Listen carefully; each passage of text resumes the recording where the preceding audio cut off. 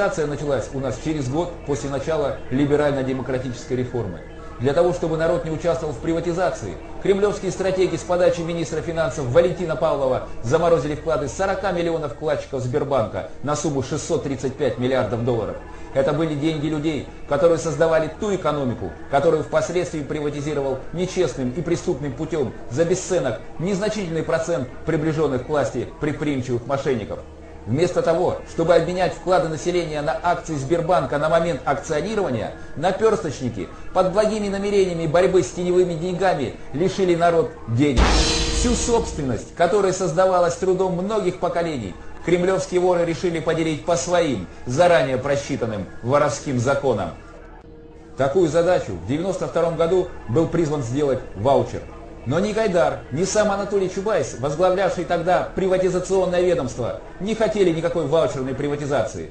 Поэтому были внесены поправки в закон о собственности, смысл которых заключался в том, чтобы не передать собственность народу, а найти способы разделить ее между нужными людьми. Чубайсом была создана сеть посреднических компаний для сбора ваучеров у населения, чековые инвестиционные фонды, Гражданам предложили принести свои ваучеры в эти чифы, причем было сказано, что сами граждане акциями распоряжаться не должны, за них это сделают специалисты, а гражданам останется только получать дивиденды.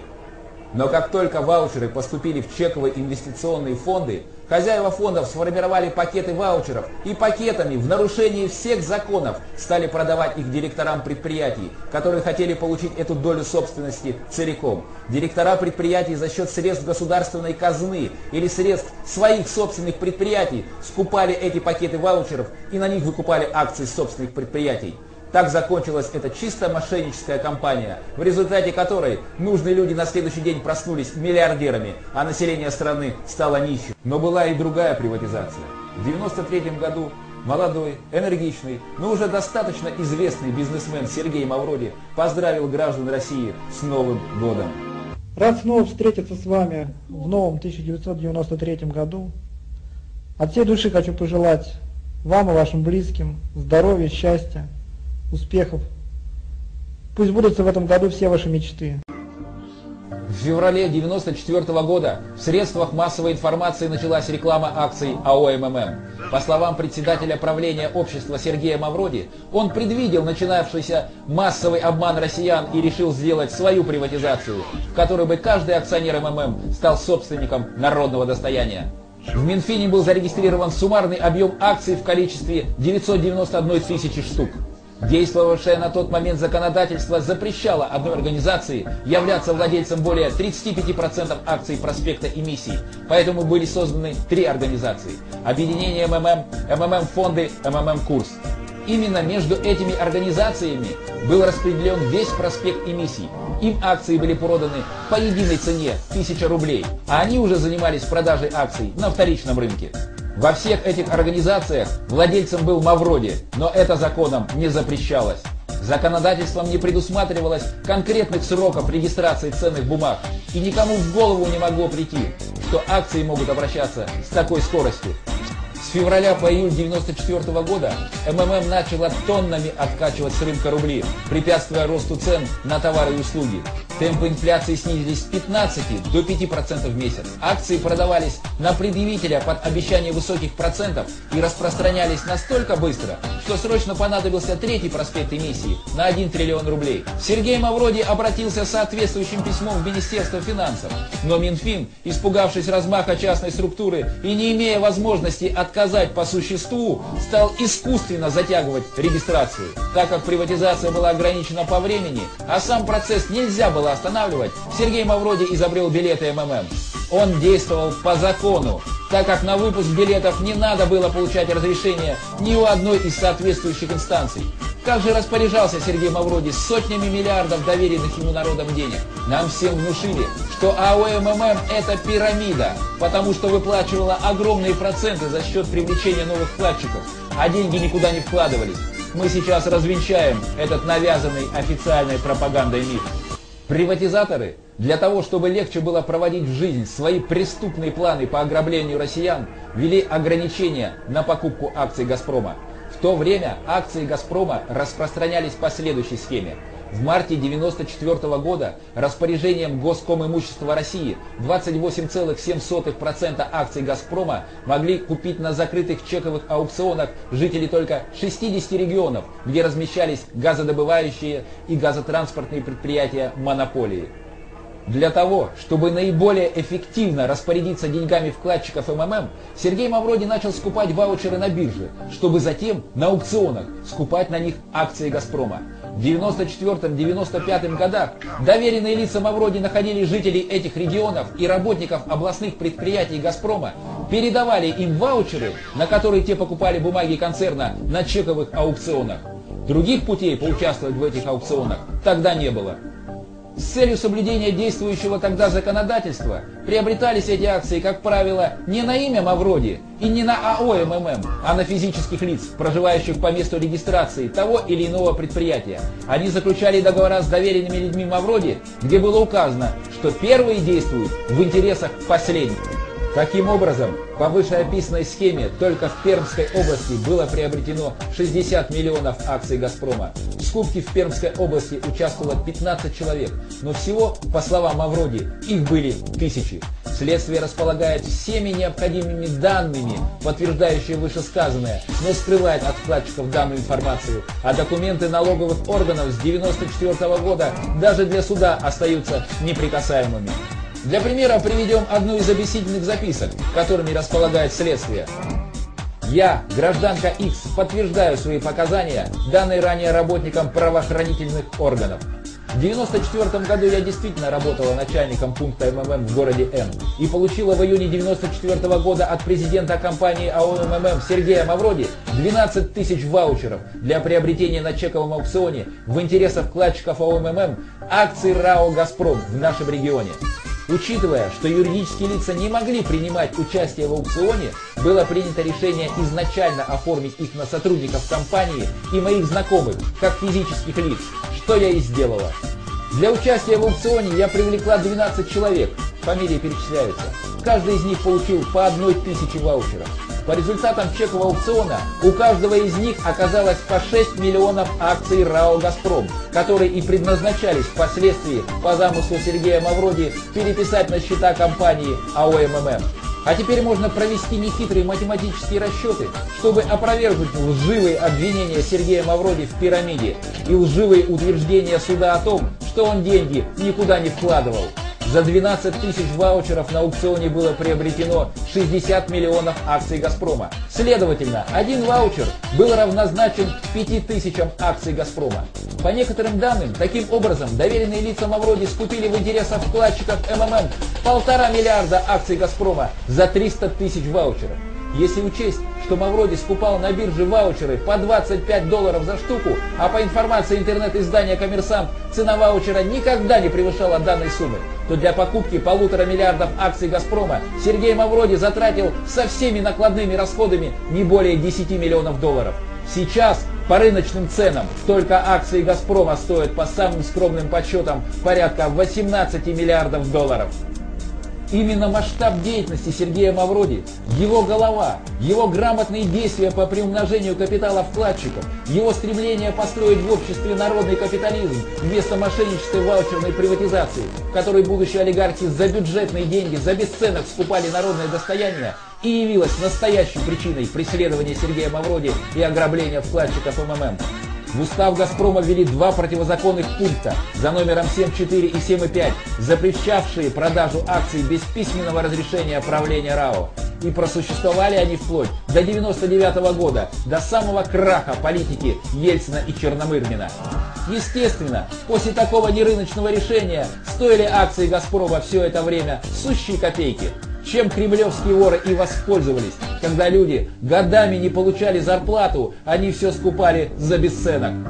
В 1995 году Сергей Мавроди официально обратился в правительство за разрешением продать акции «Газпрома» на 10 миллиардов долларов для того, чтобы расплатиться с вкладчиками, но получил отказ.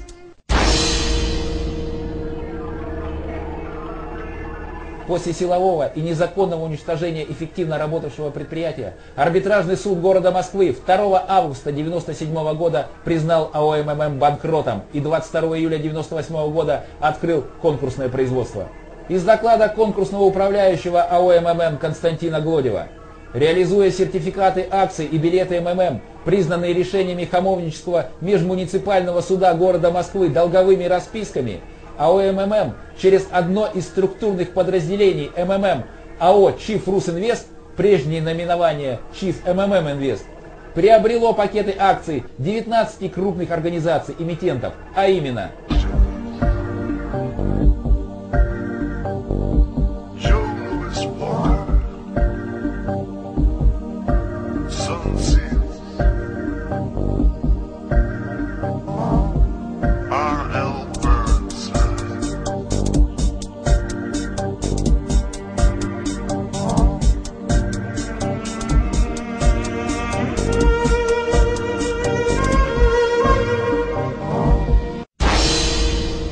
21 июня 2000 года Хамовнический межмуниципальный суд города Москвы постановил признать сведения, распространенные конкурсным управляющим АО МММ Глодевым в передаче «Независимое расследование с Николаем Николаевым» 16 марта 2000 года о том, что для приобретения акций 18 эмитентов, принадлежавших в настоящее время АО «Русинвест», привлекались средства обманутых вкладчиков АО МММ и сведения, что АО «Русинвест» является дочерней организацией АО МММ, не соответствующими действительности и порочащими деловую репутацию АО «Русинвест». Таким образом, вкладчики МММ, доверившие свои деньги Сергею Мавроди, который приумножил их капиталы в сотни или даже в тысячи раз, незаконным решением Хамовнического суда были отсечены от своей собственности. По имеющейся у нас информации, некоторые жители так называемых газоконденсатных месторождений, на которых были оформлены акции «Газпрома», После того, как Сергей Мавроди был незаконно привлечен к уголовной ответственности по сфабрикованной властью причине, не выдержали искушения и начали продавать не принадлежащие им акции некой фирме по нотариальной доверенности на определенное лицо X. Через два месяца после скупки краденных акций фирма перестала существовать. Директор был убит, а главбух пропал без вести. Скупка краденных у народа акций обошлась директору очень дорого. Эта цена равнялась стоимости его жизни. А сейчас я зачитаю выписку из ответа Генеральной прокуратуры на запрос инициативной группы вкладчиков МММ. Уважаемый гражданин X, сведения о причастности группы жителей города Перми к хищению акций РАО «Газпром», приобретенных по поручению АО МММ фонды в количестве 66 миллионов акций, подтвердились. Однако оснований для привлечения указанных лиц к уголовной ответственности по делу 145.007 не имеется. 14 мая 2005 года начальник отдела по надзору за процессуальной и оперативно-розыскной деятельностью в аппаратах МВД и Минюста России А.Е. Пучков. Данный ответ прокуратуры можно смело назвать образцом коррупции всего российского правосудия. Когда народ из-за нищенских зарплат в богатой стране не вовремя оплачивает коммунальные услуги, с него за каждый день просрочки в виде пени берутся штрафные санкции. Но когда тот же народ, кремлевские воры грабят на десятки миллиардов долларов, то оснований для возбуждения уголовных дел нет. Возбудить же уголовные дела против коррупционеров в России вообще невозможно. Вот, например, здание в центре Москвы, где сегодня располагается представительство Санкт-Петербурга. По информации интернет-издания Stringer.ru, оно было куплено Сергеем Мавроди за 12 миллионов долларов. Но после его объявления в розыск дом легко отсудили себе московские власти. Остается только задаться вопросом, что же это за страна Россия, где даже правительство находится в сворованных у народа зданиях? Кремлевские воры, осознав размах частной структуры, которая в одиночку начала строить государственный капитализм, пошли в наступление. По поводу работы МММ было создано заседание правительства, на котором было решено любыми путями развалить успешное предприятие, которое не укладывалось в планы их мошеннической приватизации. Для этой цели были привлечены налоговая полиция, прокуратура, МВД, антимонопольный комитет, Минфин, все СМИ. Губернаторы чуть ли не ежедневно докладывали Ельцину, как идет операция по развалу МММ. Каждый день по телевидению с утра до вечера твердили, что это афера. Когда наперсточники поняли, что искусственно создать панику у них не получается, они решили предъявить Мавроди надуманные иски по неуплате налогов. Вот что по этому поводу говорит сам Сергей Мавроди. Абсурдность обвинений исключала возможность компромисса. В чем ведь меня обвиняли? Что я заплатил налоги не 11 даже миллиардов, а 14, кажется, не помню уже. Да не с того счета оказывается. Поэтому то, что вы заплатили, это ваши проблемы. Зачем вы это сделали, мы не знаем и знать не хотим. А то, что фирма это тоже ваша, значения не имеет. А вот то, что вы не заплатили с того счета, с которого надо, означает, что, во-первых, вы налоговый преступник, а во-вторых, что вы с учетом набежавших за это время пений штрафов должны нам теперь почти в пять раз больше, не 11 миллиардов, а 49 уже. И сумма эта увеличивается с каждым днем. Имейте в виду. Мои жалкие возражения. Да помилуйте, преступление это в чем? Если бюджет все равно свое получил, во внимание, разумеется, приняты не были. Между прочим, была проведена финансовая экспертиза, которая выдала заключение в мою пользу. С того, мол, счета все правильно. Поскольку следствие, естественно, это не устроило, была назначена вторая финансовая экспертиза, которая опять-таки выдала заключение в мою пользу. Была назначена третья экспертиза, которая вновь выдала заключение в мою пользу.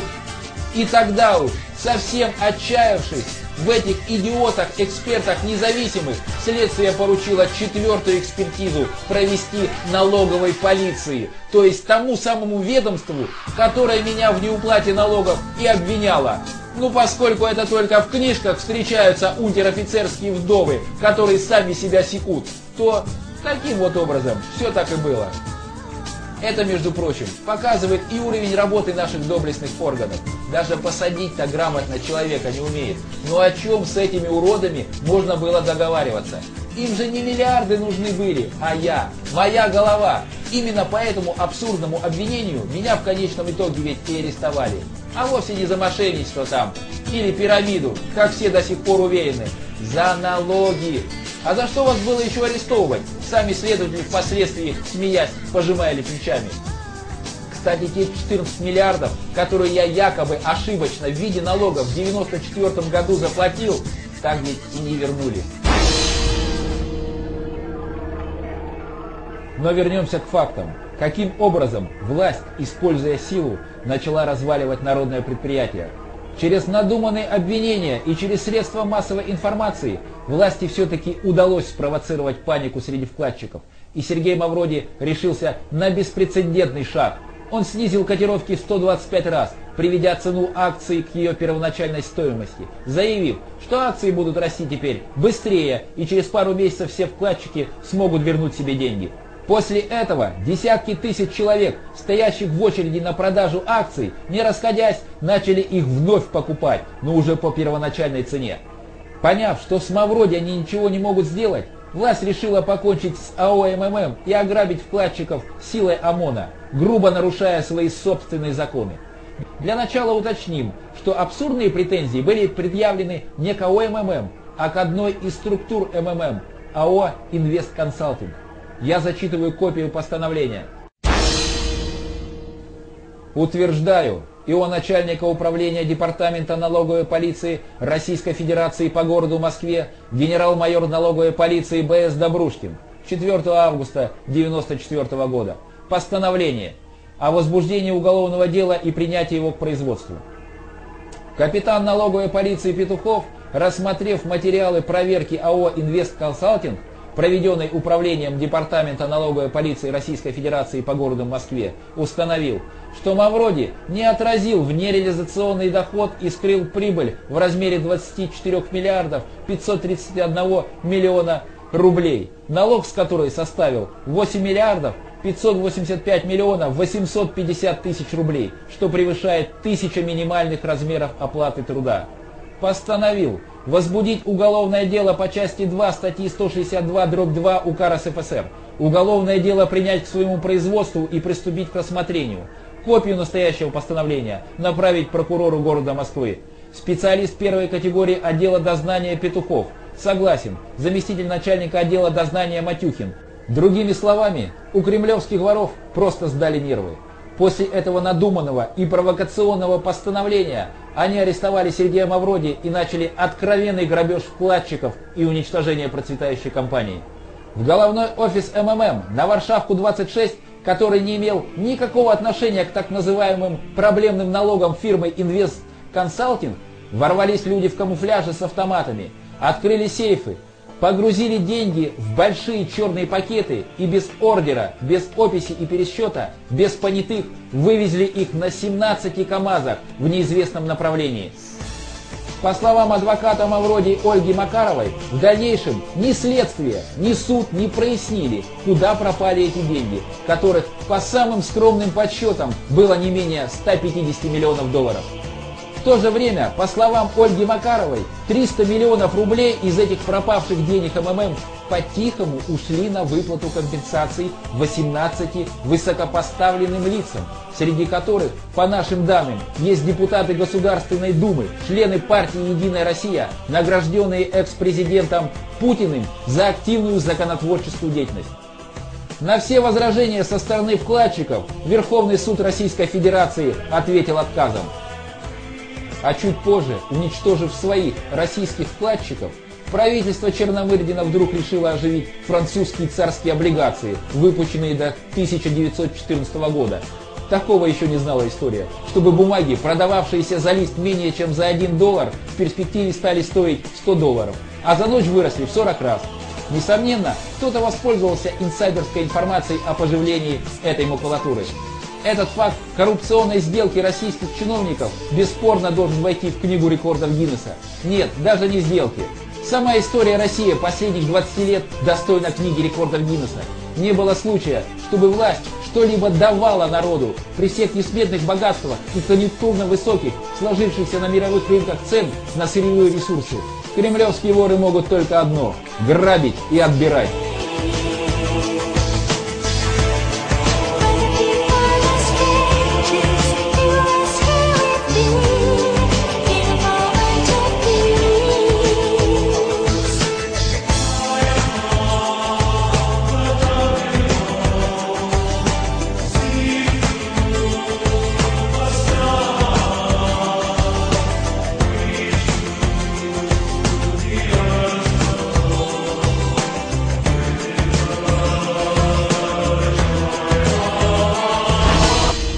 Коррупция же при бывшем президенте Путине достигла и вовсе невиданных ранее масштабов. Достаточно сказать, что 100 богатейших семей Америки контролируют только треть годовых доходов американского бюджета. 100 богатейших семей России контролируют сумму, которая в два раза больше российского бюджета. В то же время любая попытка начать так называемые национальные проекты наталкивается на стену чиновнического воровства, которое их рассматривают как способ личного обогащения. Но официальная пропаганда, фактически запретив свободную прессу, неустанно лепит из Путина кумира нации. Бывает ли потом агитаторам стыдно за свои действия? И спится ли им потом спокойно? Вопрос, конечно, риторический.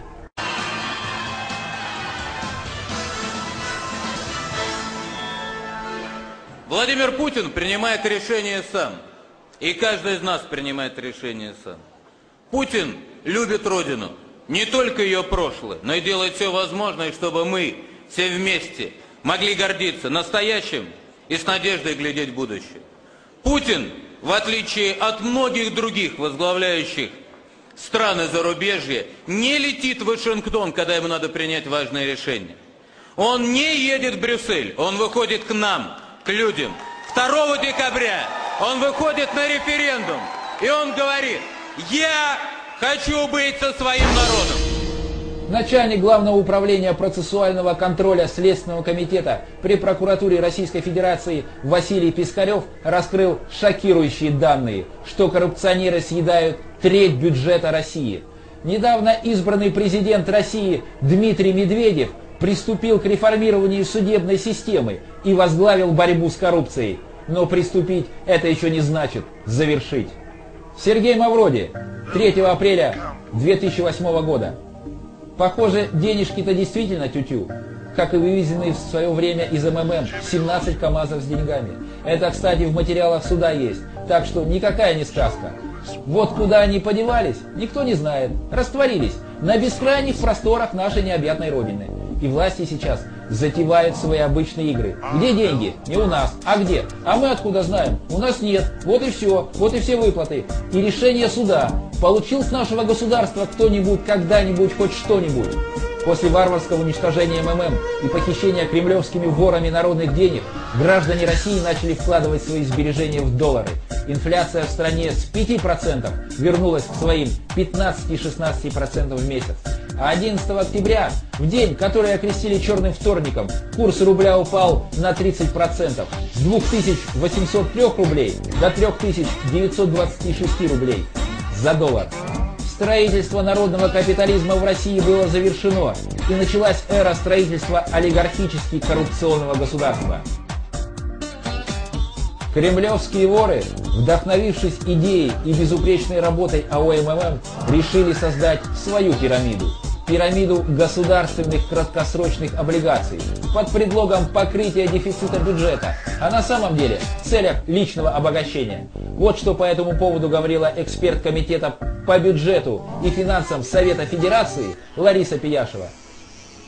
Если всю собранную в 1996 году сумму принять за 100%, то на покрытие бюджетного дефицита ушло 30%, а 70% заново привлеченных средств были использованы для избирательной кампании Ельцина и для формирования частных капиталов лиц, участвовавших в этой афере.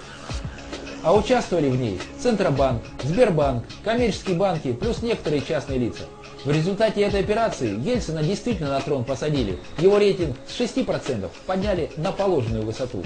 Но вместо того, чтобы прекратить игру, ее продолжили, уже с тем, чтобы поступления шли только в собственные карманы устроителей. На этих процентах очень сильно нажились люди из Центрального банка, из Сбербанка, частично из коммерческих банков и частные лица, в основном из правительства.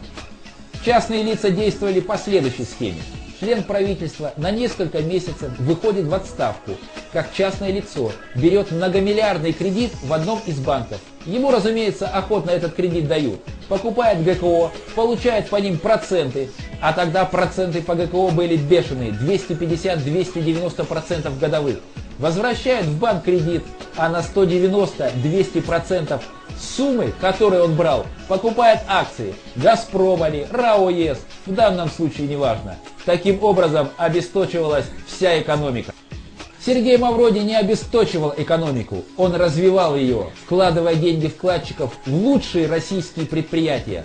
Он никого не принуждал покупать свои акции, люди за ними выстраивались в очередь. В афере с ГКО, страховые компании, пенсионные и все другие фонды обязали держать часть своего уставного капитала в бумагах ГКО. Таким образом, мошенники насильственно забирали деньги у предприятий, населения и всевозможных фондов для набивания своих собственных частных карманов, что подпадает под различные статьи Уголовного кодекса Российской Федерации. Кто-нибудь из наперсточников был наказан? Список высокопоставленных преступников из правительства и других властных структур, нажившихся на пирамиде ГКО, есть в прокуратуре. Сергей Мавроди, 11 мая 2008 года. Насчет ГКО я лично консультировал Беллу Златкис, официального автора ГКО. Где-то я, по-моему, даже об этом упоминаю в тюремных дневниках, кажется.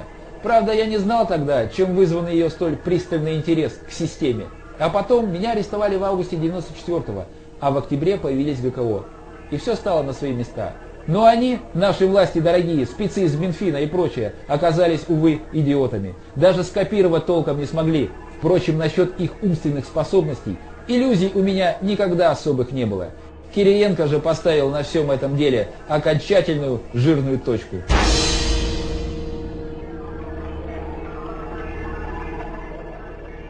Все мы с вами знаем, что если человек заслуженно или незаслуженно отсидел в тюрьме, то, выйдя на свободу, он обладает всеми правами и обязанностями, как обычный гражданин страны. Захватив имущество акционеров МММ на десятки миллиардов долларов, кремлевские воры решили действовать по проверенной веками схеме «разделяй и властвуй». Власть разделила вкладчиков на две противоборствующие группировки, ведь всегда из миллионов акционеров можно найти десяток другой штрихбрехеров и предложила им подавать на Мавроди иски в суд, дав надежду нескольким сотням пенсионеров вернуть то, что им якобы задолжал Мавроди. При этом власть не объясняет, Почему она отказывает в исках против Сбербанка, заморозившего частные вклады на 635 миллиардов долларов, на руководителей других финансовых пирамид или разорившихся банков? Возглавил инициативную группу ничего не понимающих и наивных пенсионеров Левон Сарвазян, художник, который, по его словам, потерял в АО МММ квартиру и художественную мастерскую. С подачи данной группы штрейбрехеров Чертановский суд города Москвы в 2007 году приговорил Сергея Мавроди к 4 годам и 6 месяцам лишения свободы и обязал Мавроди выплатить в пользу государства штраф в размере 10 тысяч рублей и 20 миллионов рублей пострадавшим от деятельности МММ. По словам судьи, срок наказания исчислялся от 31 января 2003 года, когда произошло задержание Сергея Мавроди. При этом сам Сарвазян неплохо нажился на данной акции, незаконно беря с людей деньги за помощь в оформлении всевозможных документов. 22 мая 2007 года этот срок истек, и Сергей Мавроди вышел на свободу.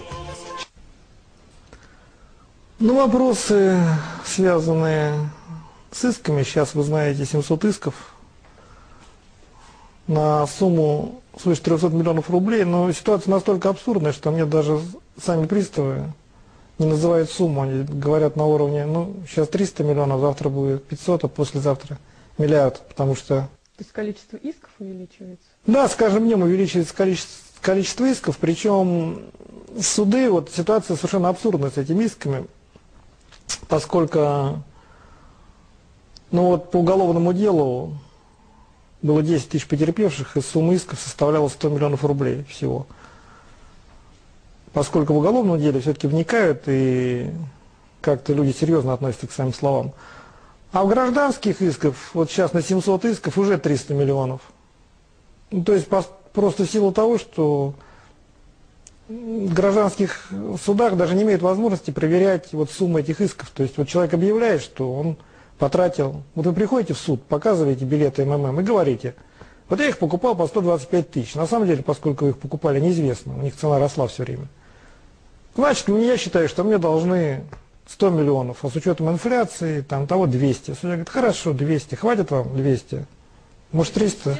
Да, вот буквально вот происходит вот именно такой абсурд вообще. Причем люди, которые уже получили по, по уголовному делу, также спокойно приходят, их тоже принимают. Ну, то есть это все, я не знаю, это немыслимое что-то.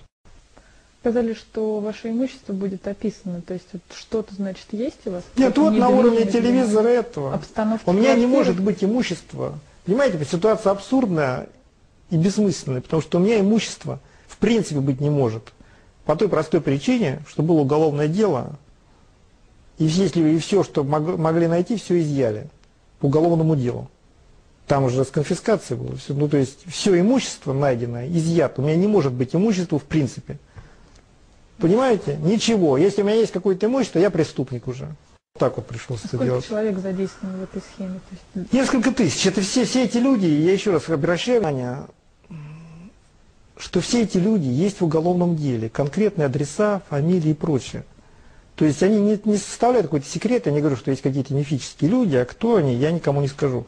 Эти люди всем известны, они есть в уголовном деле. Я следствию предлагал неоднократно, что почему вы не занимаетесь вообще. Я не претендую на эти акции, я могу написать вам любые бумаги, подписать, что пожалуйста, занимайтесь, продавайте их. И расплачивайтесь вкладчиками. Никакой реакции. вы готовы к этому? Конечно. Власти только декларируют, что не хотят расплачиваться вкладом. Это не надо никому абсолютно. Вкладчики не интересуют никого.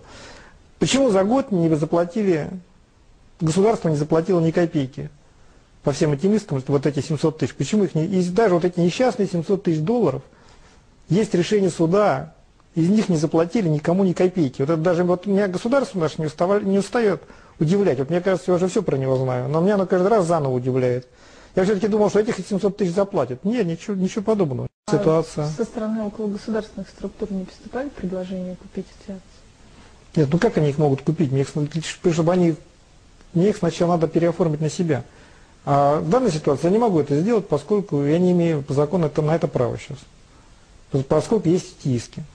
Все, вот замкнутый круг. То есть государство добилось того, что я это все, между прочим, не сейчас вот задним числом придумываю по ходу дела объяснения. Я это говорил год назад, что так оно и будет, так оно и вышло.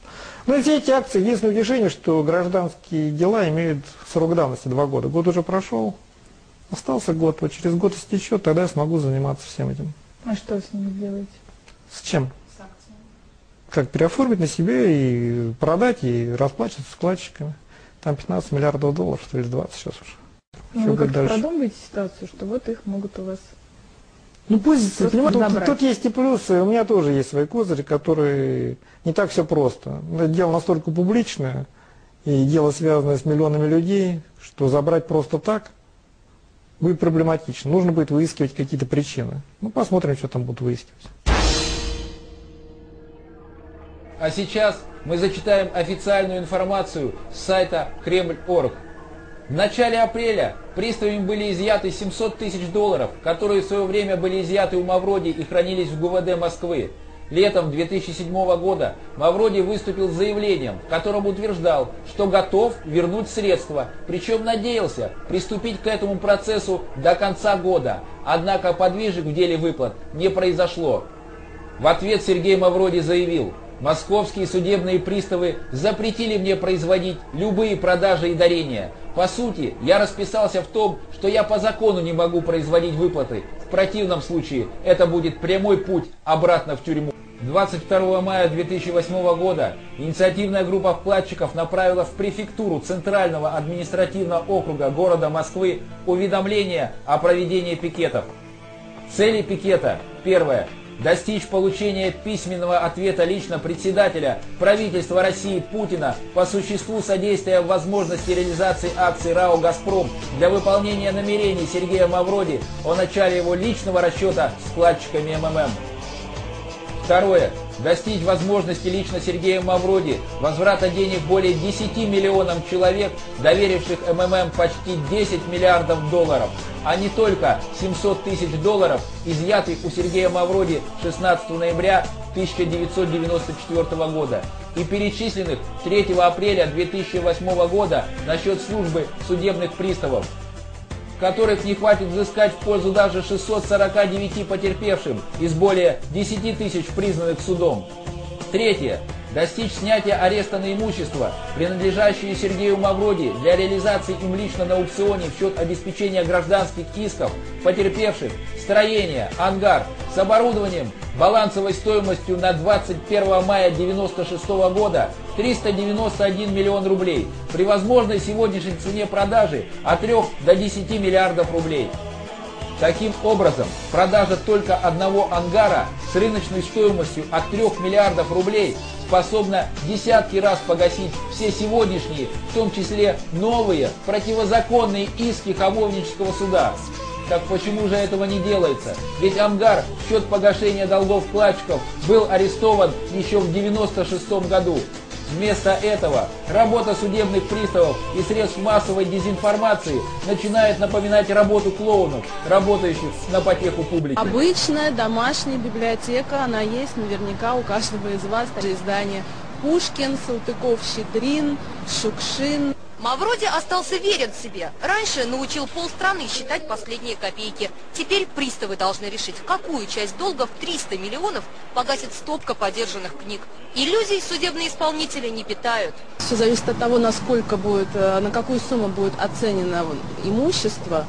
Вот. Но я думаю, что это не большая часть исков, которые у нас имеются на исполнение в настоящее время. А ответ лежит на поверхности. Кремлевским ворам не нужны ни вкладчики, ни деньги. Им нужен Сергей Мавроди. Ведь они прекрасно понимают, что если российская и мировая общественность узнает об их преступлениях, то это как минимум только укрепит их мнение о России как о несправедливом и коррупционном государстве.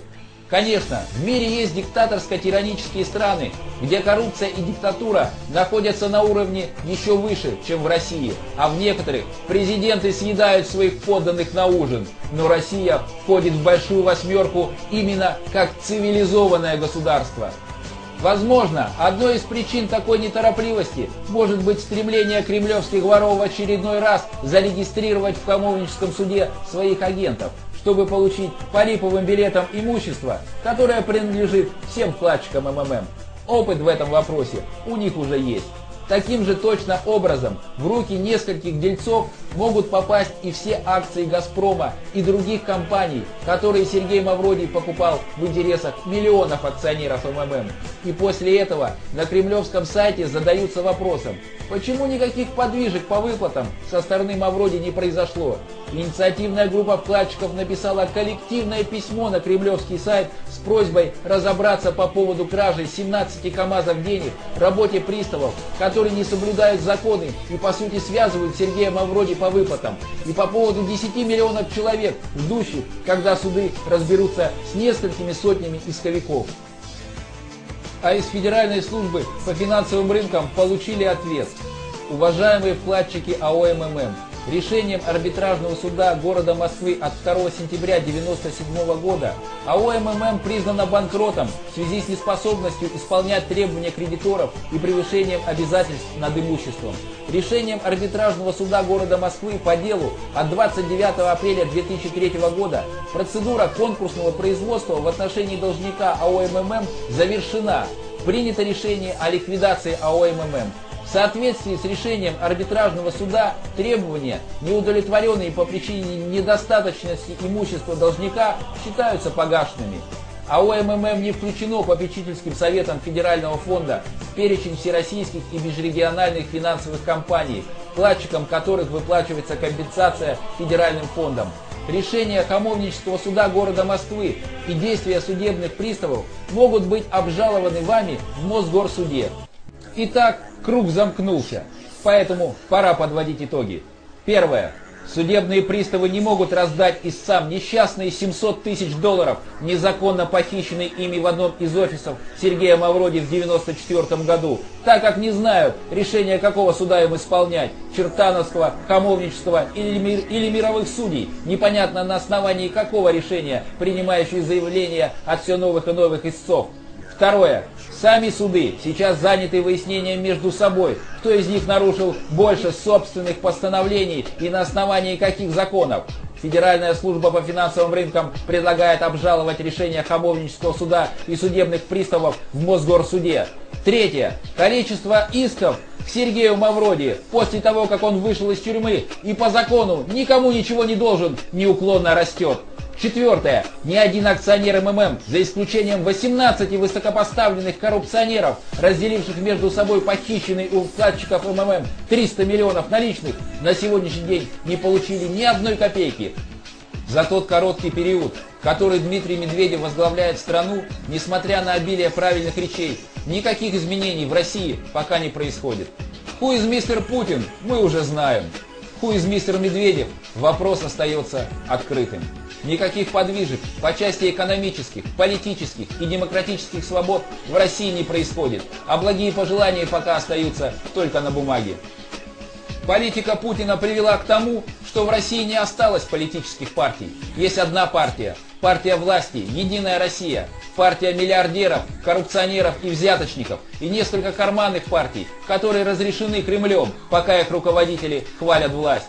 Так называемая борьба силовиков и либералов не оказывает никаких положительных моментов на развитие страны. Ни тем, ни другим народ не нужен. Их интересуют только свои внутриведомственные интересы и состояние собственных счетов в зарубежных банках.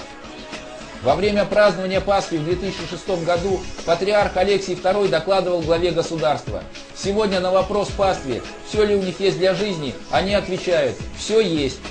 Еще несколько лет назад не чувствовалось такого оптимизма и сознания того, что есть все необходимое для жизни. Если учесть, что в стране 4 миллиона бомжей, 3 миллиона наркоманов, 3 миллиона алкоголиков, 10 миллионов инвалидов, 4 миллиона состоят на учете у психиатров, а население страны сократилось на 6 миллионов человек, то на фоне таких фактов заявление патриарха выглядит довольно странно.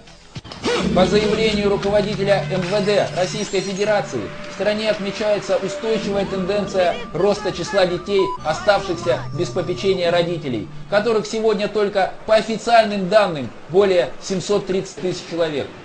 По неофициальным, число беспризорников в стране в несколько раз больше. Исторический соперник православия Ватикан считающий себя главой всех христиан, предчувствуя надвигающуюся угрозу разделения мира на сверхбогатых и сверхбедных, расширил список смертных грехов и причислил к ним наркотики и социальную несправедливость, из-за которой возникает бедность, а немногие накапливают избыточные богатства. Россия по социальной несправедливости замыкает сотню стран в списке Организаций Объединенных Наций. Поэтому все еще только начинается. Мы, кроме того, способны и должны в течение ближайших 10-15 лет войти в число стран-лидеров по ключевым показателям качества жизни наших граждан.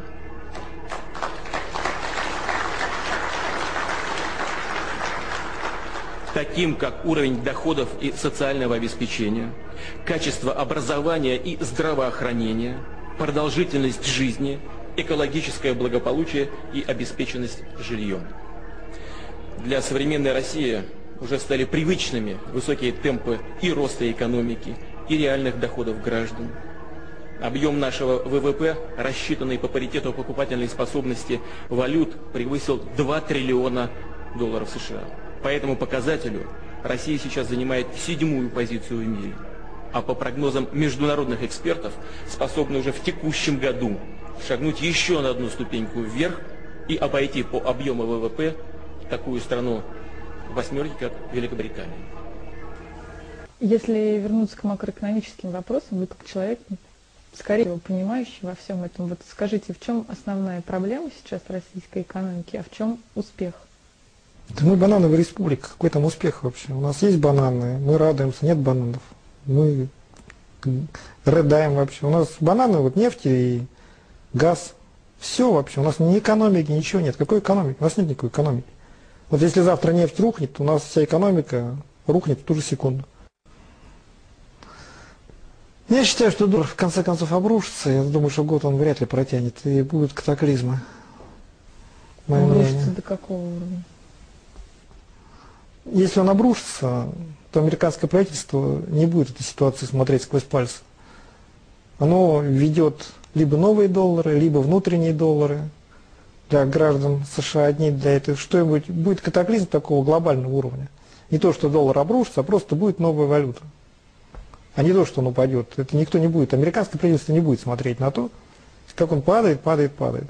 То есть оно примет какие-то на, каком-то уровне, когда он упадет до какой-то отметки, оно примет какие-то радикальные меры. Потому что оно не будет смотреть, как разоряется страна.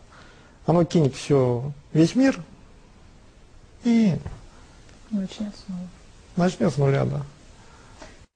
Зачем, для кого и для чего мы решили создать этот фильм? В данном фильме мы не преследовали цели еще более очернить и без того коррупционное российское правосудие, преступников и ракетиров из налоговых инспекций или прогнившую воровскую светскую власть. Мы старались смотреть на вещи честно и объективно, насколько это возможно, думая в первую очередь не о Мавроде или расхитителях народного имущества, а о народе и ограбленных властью вкладчиках. Наш фильм в том числе и для потомков, которые, копаясь в архивах официальной пропаганды, прославляющих пир во время чумы, должны знать и другую, неофициальную правду, в какой стране мы жили. Россия гибнет, Гибнет, несмотря на высокие цены на нефть. Гибнет, несмотря на фантастические залежи природных ресурсов и огромную территорию, которая была нам завещена предками. Россия гибнет из-за бездарности, коррумпированности и алчности ее руководства. И в то же время такие талантливые люди, как Сергей Мавроди, постоянно находятся под давлением властей. В рамках данного фильма мы о многом не сможем рассказать, что, по нашему мнению, было бы уместно к данному материалу. Ну, например, о стабилизационном фонде, бездарно гибнущем в различных пирамидах на территории других государств, о религиозных новостях, происходящих в мире, наконец о том, что в случае каких-либо финансовых катаклизмов или форс-мажорных обстоятельств дети кремлевских воров голодать не будут. Но можно ни на секунду не сомневаться, что кремлевские воры все свои преступления и просчеты в очередной раз с легкостью спишут на народ. В то же время мы возьмем на себя смелость заявить, что если бы Сергей Мавроди был президентом России, мы бы уже давно жили в другой стране, где не было бы миллионов беспризорников и десятков миллионов нищих, с трудом живущих от зарплаты до зарплаты, в то время как сотни олигархов при содействии наперсточников из Кремля захватили силой и мошенническим путем то, что по праву принадлежит всему народу.